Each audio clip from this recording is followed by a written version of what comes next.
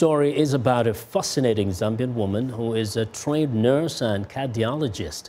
She quit her medical career in Australia and moved back to Southern Africa to launch Tuzini Farms, a commercial farming company that specializes in growing tomatoes. When you talk about uh, farming, a lot of people don't take it seriously.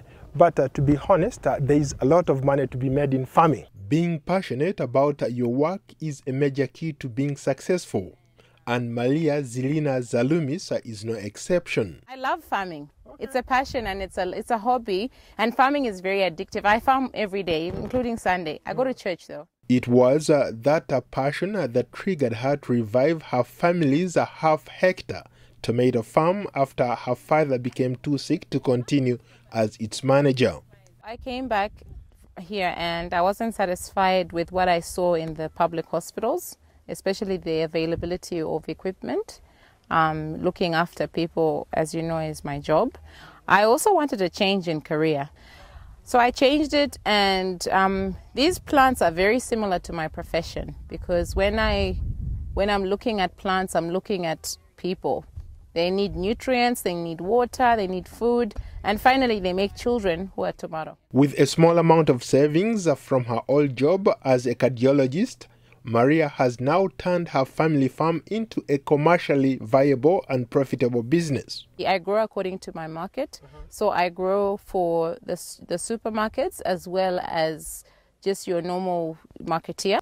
So I always look at the quality of tomato that I'm producing, and I only take off this tomato when it's when it's when when it's ripe and it's blood red. Dubbed as Zambia's tomato queen and the nation's youngest commercial farmer, Zalumis has her sights set on expansion.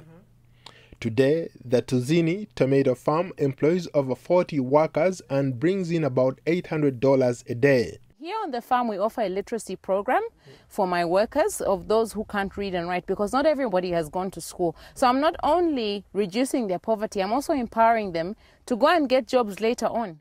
Zalumis admits that she doesn't have any formal training or background in farming. She depends on the advice of Remy Mainga, a crop growing expert on what species to grow and how to effectively manage the farm. I come down to the farm and do the scouting uh, I go field by field, try to identify the problems.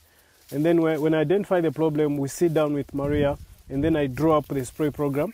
We look at what type of chemicals does she has in stock and what does uh, what is needed to buy. Mainga is also a farmer and he says that Zambian youth should change their mindset about agriculture and go into farming. To me, I feel that um, what we just need is empowerment to empower the youth to go into farming. There is money in farming than waiting to get your salary at the end of the month. Like any startup company, the Tuzini farm is not without its challenges. For example, price fluctuations, uh, the weather, and getting the tomatoes to the marketplace can be a challenge. But Maria remains confident. What inspired me was um, when I came on half a hectare, I saw the potential that the farm could have, and I wanted to invest the money that I came back with in something lucrative. And farming was the way to go, and I enjoy it. For young people wishing to get into farming, her advice is to be willing to get their hands dirty.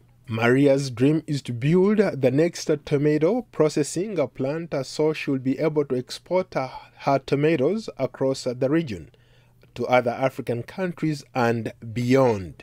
Paul Ndiho, VOA News, Tuzini Farm, Chisamba District in Zambia.